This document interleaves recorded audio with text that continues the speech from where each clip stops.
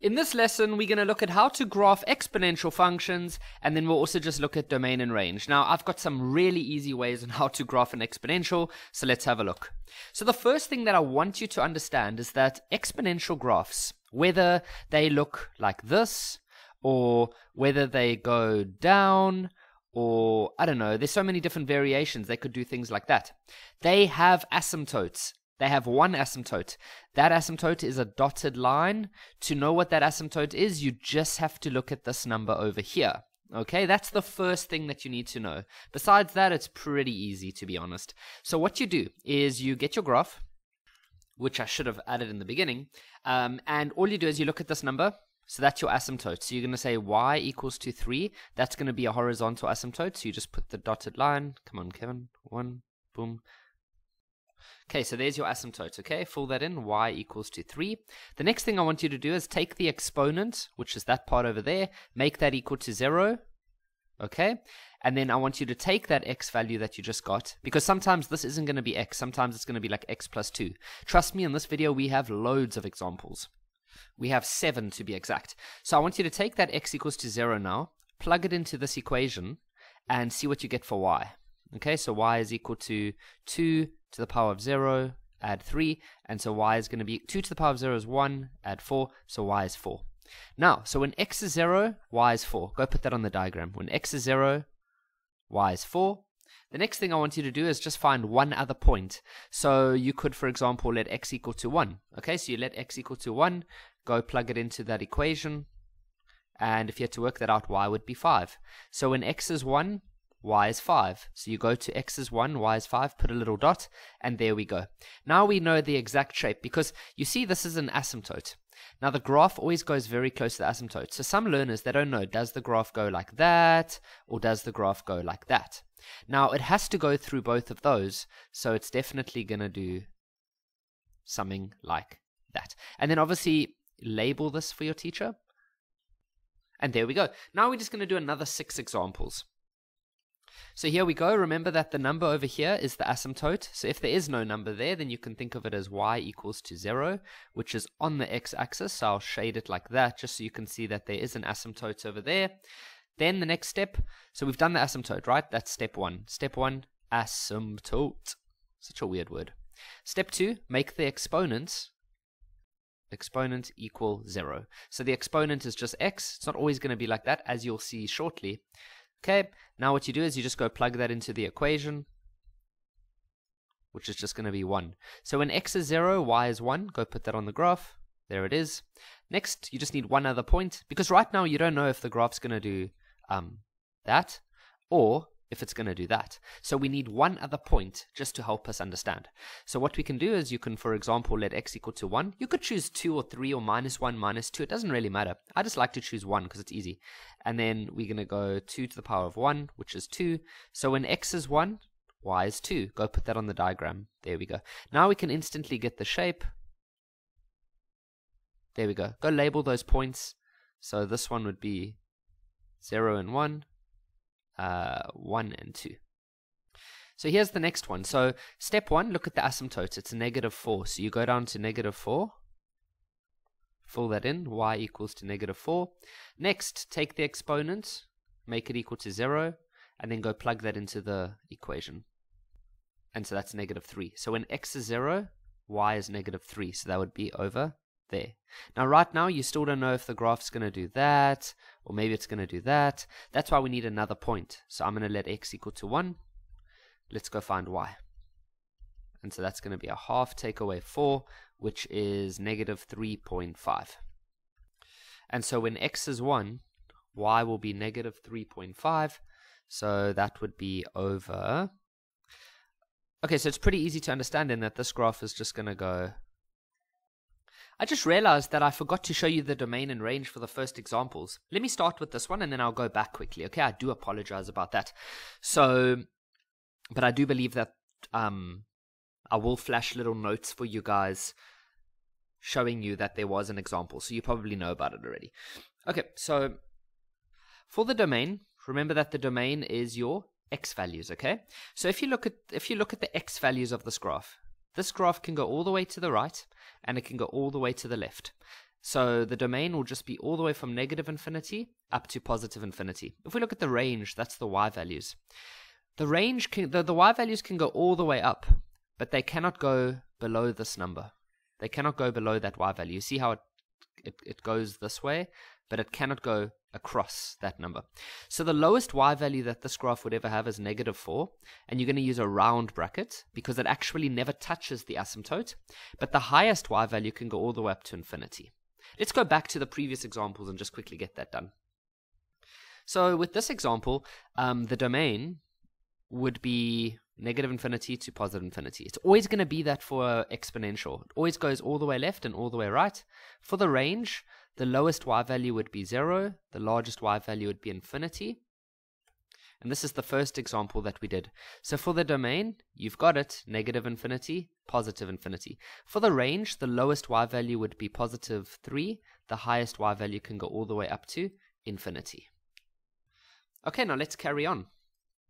First step, look at the asymptote, positive 2. So you're going to put a positive 2 like that. Next step, make your exponent equal to 0. Plug it into your equation. Remember, this negative is not part of it, so you can do something like that if you want to. If they had a bracket there, then the negative 2 would be a part of it. But that's not what... We do have an example like that coming up. So this is going to be y equals to negative 1 plus 2, so y is equal to 1. So when x is 0, y is 1. Go put that on your graph. Ooh, it's underneath. And then go find any other point. So let's say x equals to 1. Go plug it into your equation. And that's actually going to give you 0. So when x is 1, y is 0. There we go. Now it's easy. Now you just go like this. Whoops. I took that corner too fast. Something like that. Fill in the coordinates 0, 1. Uh, this is 1, 0 and the domain and range. Oh, by the way, so your teacher might have made a big deal about this negative. All that that negative does is it just flips the graph over. So if a normal graph goes like this, putting a negative there just flips it downwards, okay? But you would already find that by just following this method. Now, the domain, for any exponential, it's just going to be negative infinity up to positive infinity. For the range, now you always have to say the lowest one first. So The lowest range, the lowest y value is going to be negative infinity and then it's going to go all the way up to this dotted line, which is positive 1. Okay. Here's a nice one because this is no longer just an x, but the steps stay the same. So you take this, you put that as your asymptote, so y equals to negative 1.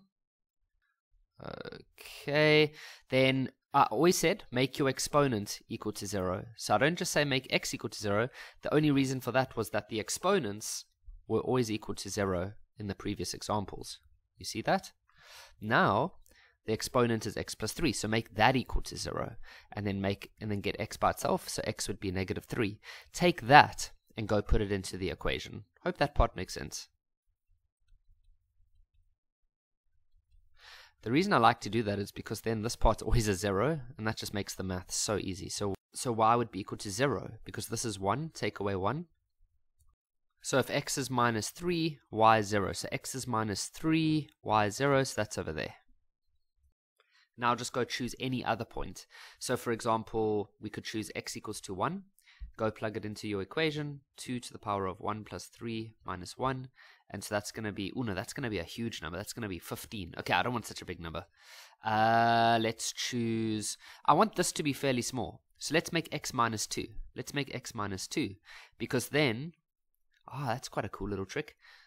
So you can make your exponent equal to 0 which is what we did earlier, and then try to make your exponent equal to 1. That's pretty much what we've been doing actually up till now. Check this out. Here we made x equal to 0, which was the exponent. Then we made it equal to 1. Here we made 0. Then we made it equal to 1. Then we made 0. Then we made it equal to 1. So make the exponent equal to 0 and 1. And then quickly solve for x. Whoops, that's a 2, Kevin. No, minus 2. That is right. And then go plug that in that just you don't have to do this but this just gives you the smallest numbers to deal with and that just makes life better. You don't want to be dealing with 732 million and then you have to go plot like 732 million. It's just weird okay? So um 2 to the power uh, that's going to become 2 to the power of 1 minus 1 and so y is 1 so when x is minus 2 y is 1 so when x is minus 2 y is 1 there we go. And now we can easily get the shape we have two more examples. Okay, now you see how they've done this 3 and this 2 like that?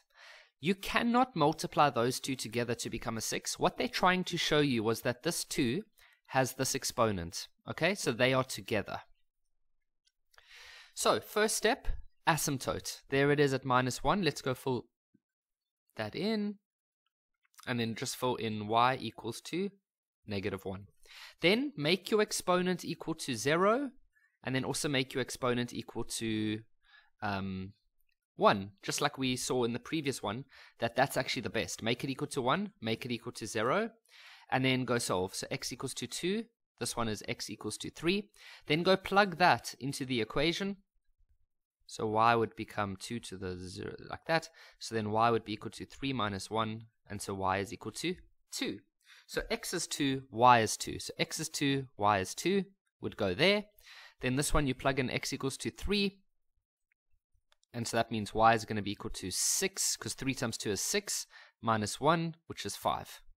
So x is 3, y is 5, x is 3, y is 5. Now that is enough information to be able to draw, so we can do something like that. And then always go and label those points, so 3 and 5, and then 2 and 2. Here's our last example. So your asymptote, minus 1. And then make the exponent, which is x plus 1, make that equal to 0, and make that equal to 1. And so if you solve this, you get x equals to negative 1. And so let's go plug that into this equation. So y will be equal to negative 1. See how this is in brackets. So the negative mustn't go on the inside. So negative 1 plus 1 minus 1. And so y would be equal to uh, negative a third to the power of 0, take away 1. And so y would be negative 1 minus 1. So y would be negative 2. So when x is negative 1, y is negative 2. So that's over there. I just realized I forgot the domain and range on the previous example. I will go back and do it. So if, okay, so y is negative 2. Now we solve this one. x is 0, so go plug that in. And so y is going to be negative a third, take away 1, and so y is going to be negative 4 over 3, which is about 1 comma 33. So when x is 0, when x is 0, y is negative 1 comma 33, which is about there. And so now we can see that this would have to go something like that. Now let's do the domain and then I'll go back to the previous one. So the domain is always going to be negative infinity to infinity the range. So the lowest range would go all the way down to negative infinity. The largest range would go up to minus 1, but it won't touch minus 1, so we'll use a round bracket. So let's go back and do the domain and range of the two previous examples. So for this one, negative infinity to positive infinity. For the range, that would be the lowest is negative 1, the largest is infinity. And then for this one, the domain would be negative infinity to positive infinity, and then the range is negative 1 to positive infinity. And that's it. Thanks for watching.